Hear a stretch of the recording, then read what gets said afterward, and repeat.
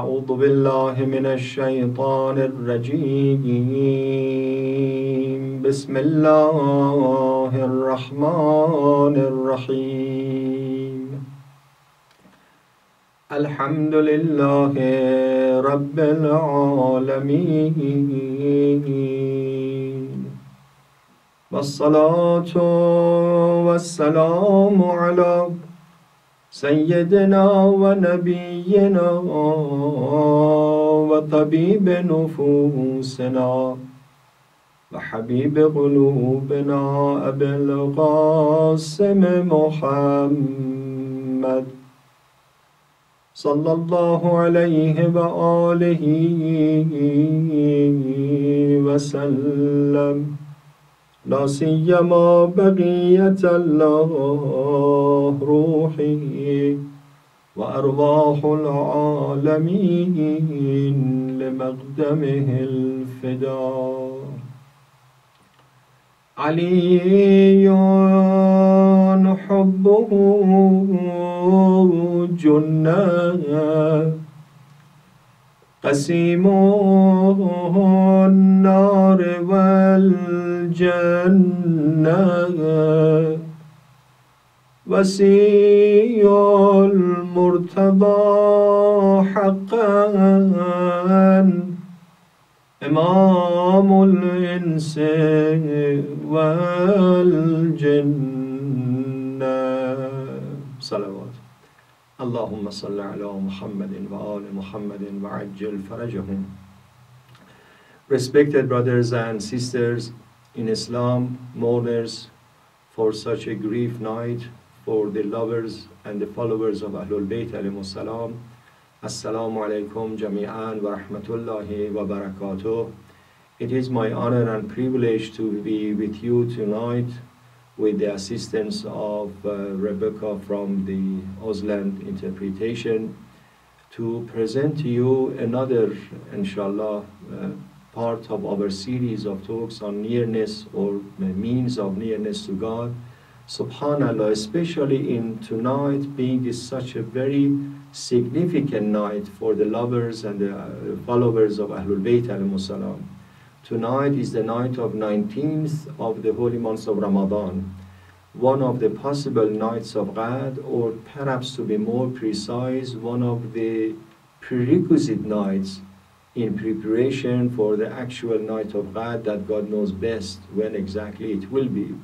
And at the same time, it coincides with the night of the assassination of our beloved Imam Amirul Mu'mineen Ali ibn Abi Talib, Wasiyu Rasulullah sallallahu alayhi wa alayhi wasallam.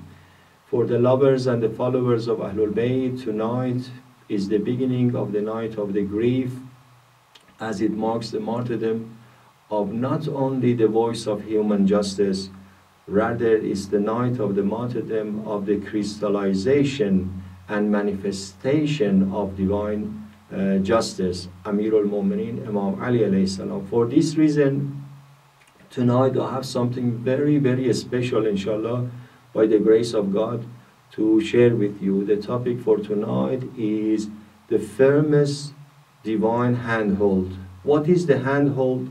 Imagine a scenario, metaphorically, I'm giving you an example, and then we'll bring it to the religious context to our discussion. Suppose that you are driving to Blue Mountains. You want to, for some reasons, climb the mountain. I'm not sure if you are, you have the tools and the, you are able to do that or not, but just as an example, metaphorical example. The mountain is rocky and steep, and therefore you need something to, to cling on, to, to, to grasp and to grip on. All right? These are handholds to, to make sure that you, you are protected and you protect yourself. The life of the dunya, brothers and sisters, by and large, is sometimes like mountain climbing. Sometimes it's very steep, difficult. We need handholds to make sure that we are protected. Sometimes it becomes like a roller coaster that is very dangerous, okay? To make sure that I, I, I don't get lost in the direction or I don't fall, handholds are so necessary.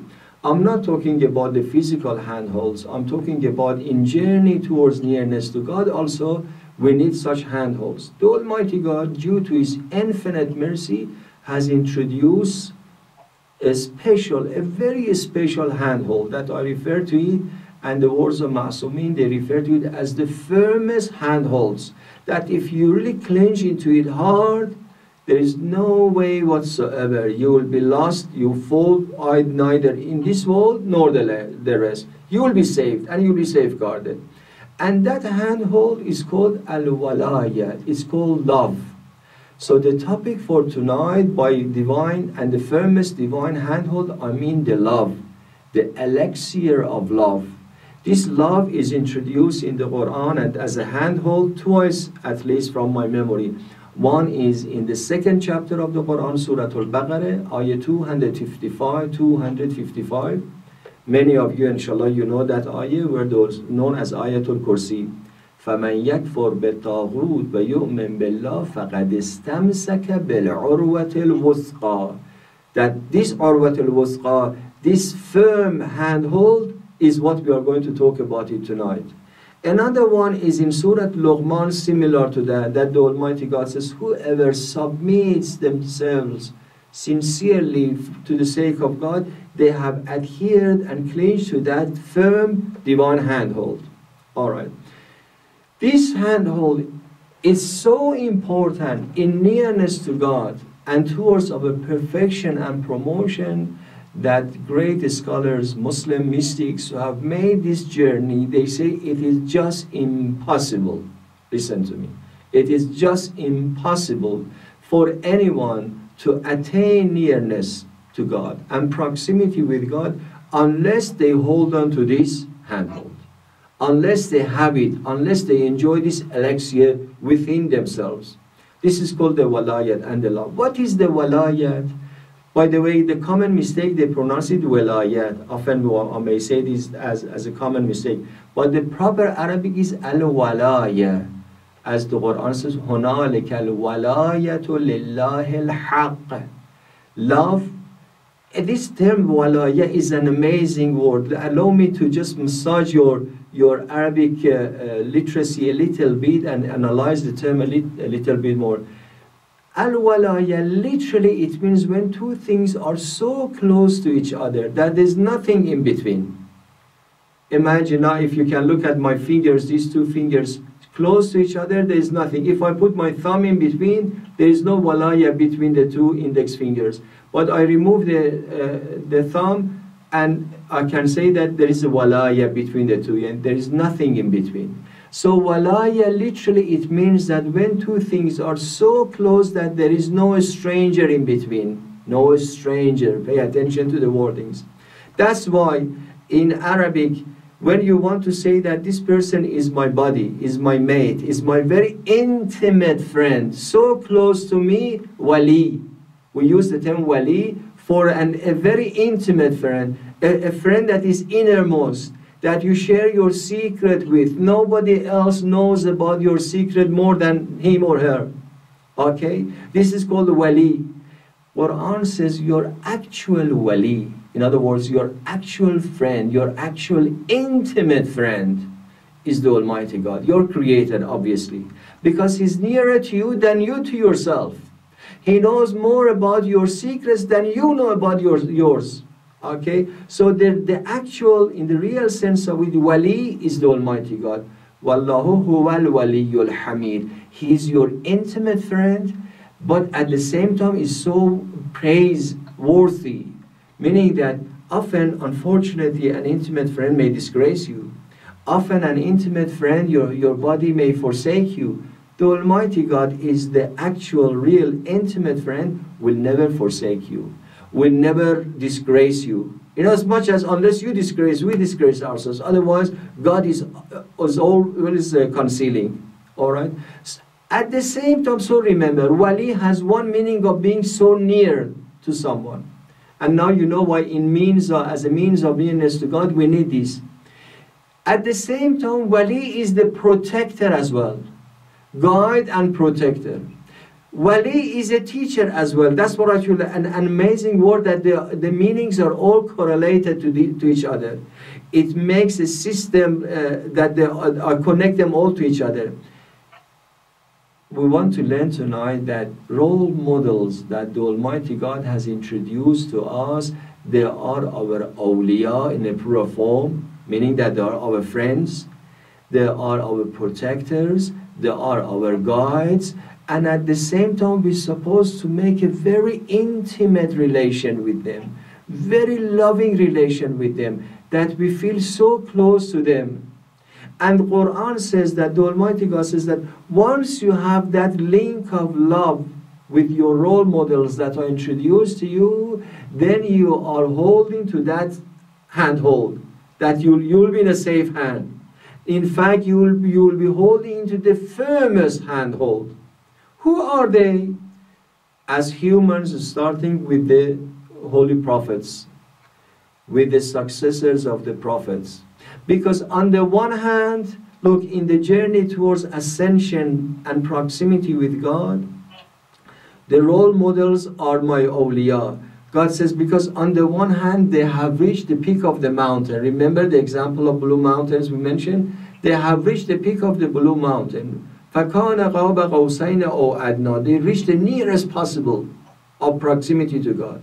So from on the one hand, they are they've become godly or they act godly met metaphorically. Remember the example of that piece of metal that I told you that you bring it close to the fire, it becomes fiery, it burns, and it the, the color gets reddish.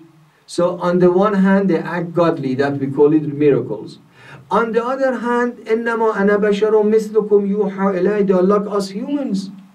So because they look and they, they act, they eat, drink, they, they reproduce, live like humans, I feel that they are like me and I look at them as my, my role models, human role models.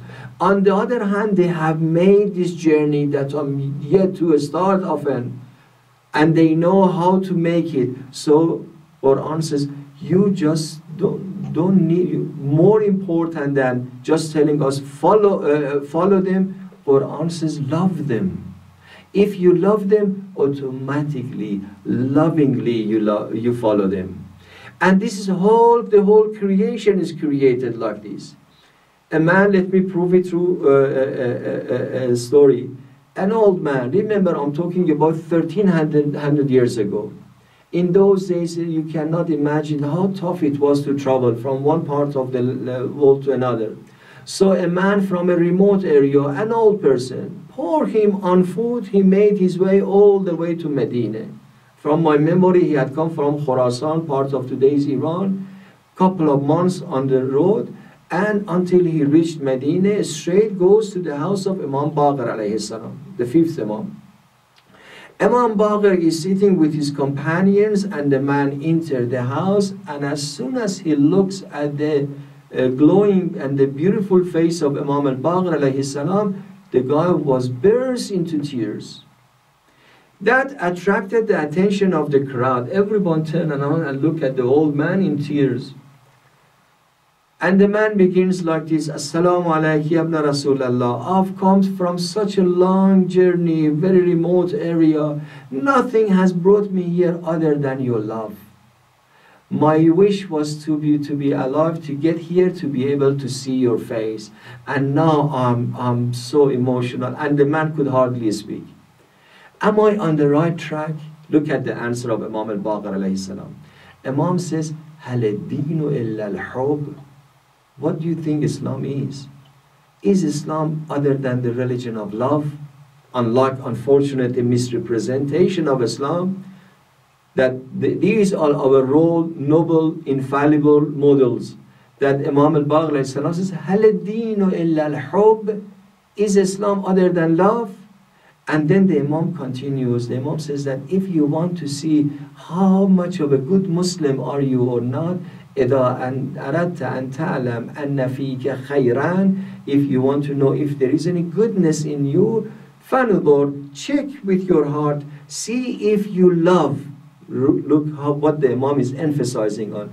The Imam says that see if you love those who are obedient to God, those who are benevolent, those who are good guys in a simple language.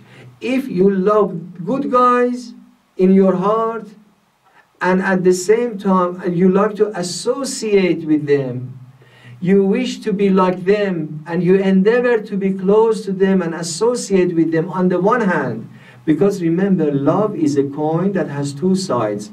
On the one side of the coin of love, it means you love your mate, your intimate friends, uh, and associate with them. And but on the other side of the love, you dissociate yourself from the foes and the enemies of your friend.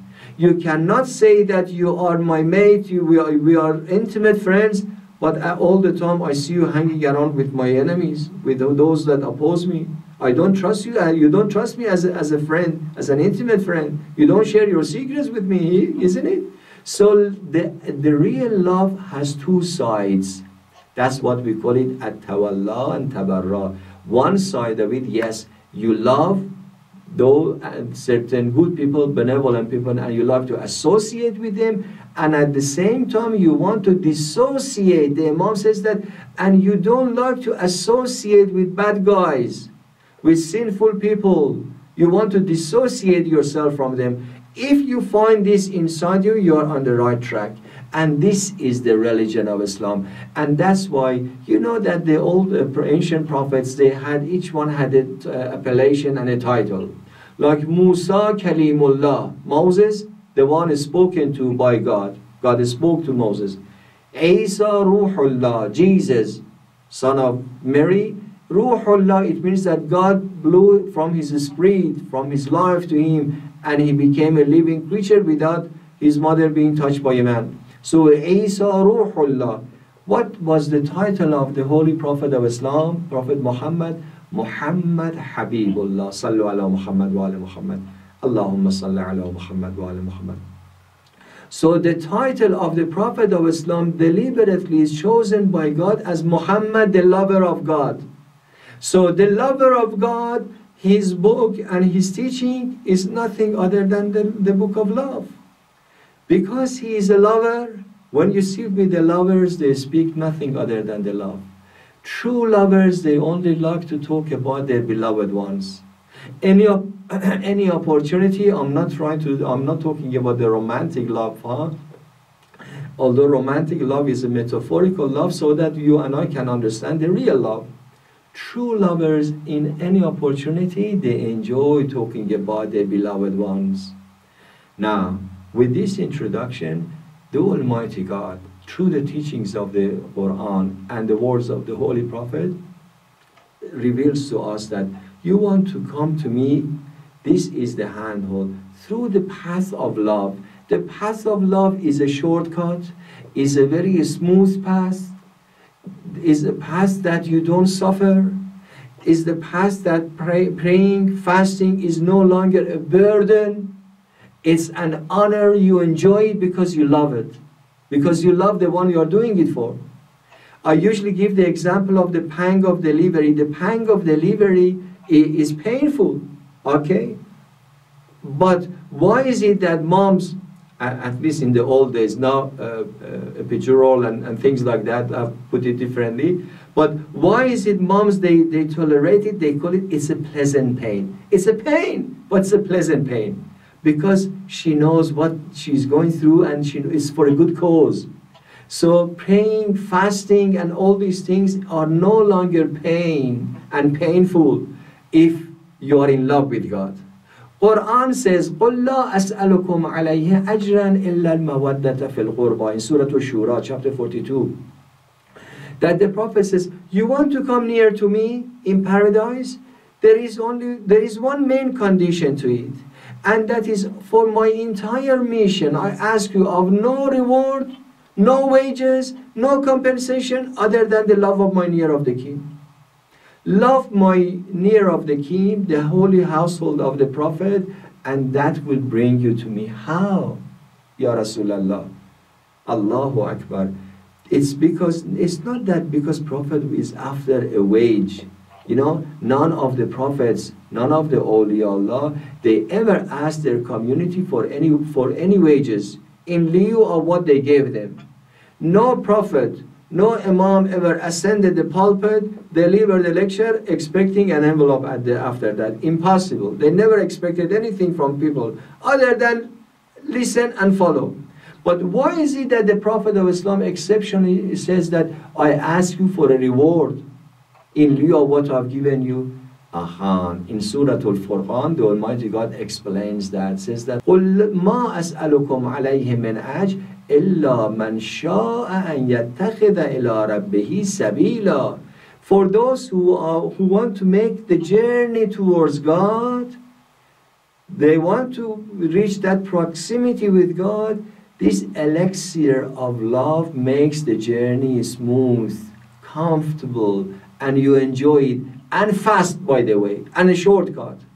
And that's why there is no Muslim, you know, we have denominations in Islam, but the love of Ahlul Bayt, the love of the holy household of the Prophet, uh, when it comes, as soon as the love of Ahlul Bayt appears, sectarianism disappears. و به موالاتکم اعتلفت الفرقه in زیارت الجامعه we read like this that the Imam says that by the love of Ahlul Bayt, the uh, sectarianism disappears. There is no more sectarianism because there is no Muslim who ever would say that I don't love the family of the Prophet. Astaghfirullah. I don't love the Prophet or I don't love the family of the Prophet. Such people cannot be Muslim, impossible. Despite all different sectarianism, denominations, Shia, Sunni, or, or anyone. So that, that, is the, that shows in itself the significance of the love of Ahlul Bayt. And that's why, why emphasis on love? Because they wanted us to make this journey. Narrations that you see that the Prophet says, for example, the parable of my family Allah is like the ark of Noah, the ark of Noah. Man rakebaha naja. Whoever embarks is, is safeguarded whoever uh, leaves it will drown. Expressions like the Prophet says, another ila Ali ibadah, looking at the face of Ali ibn Abi Talib is considered worshipping. Dhikru aliyin ibadah. Talking about Ali is worshipping because it's talking about the one that you love. إن الحسين مصباح الهدى وسفينة النجاة Hussein is the Imam Hussein is the lamp of uh, guidance and the ark of salvation. All of these to bring our attention to introduce them to us, and you cannot get to know the noble character of Imam Ali alayhi salam unless you love him. A Christian writer, a Lebanese Christian, George Jordac when he studies the biography of Ali ibn Abi Talib, look at the he writes a book Ali, the voice of human justice. Impossible for anyone who come to get to know these noble characters but to love them. But, but, love is not just about saying that, okay, I love Ali ibn Abi Talib, that's it. No.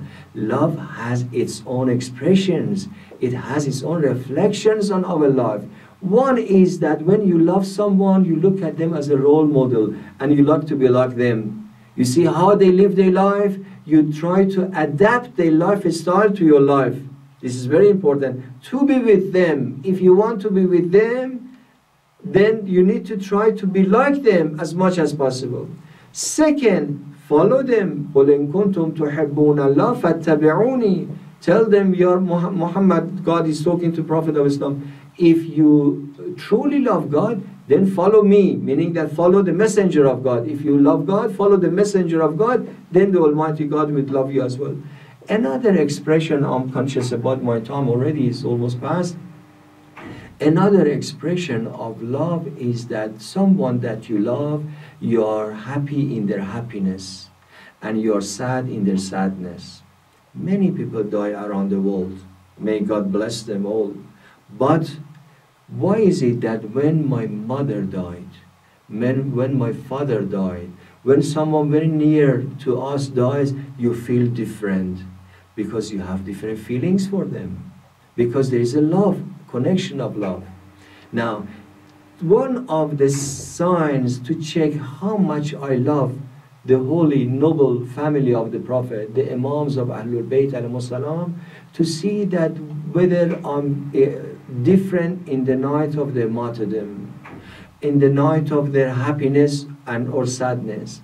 Like tonight, which is the night of the martyrdom of Imam Ali alayhi salam, is the night that the voice of human justice was unfairly assassinated.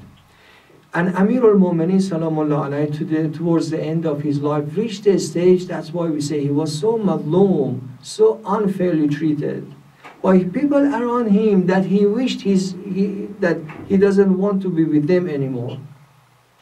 Allow me to take you to Kufa in a night like tonight. It's the month of Ramadan.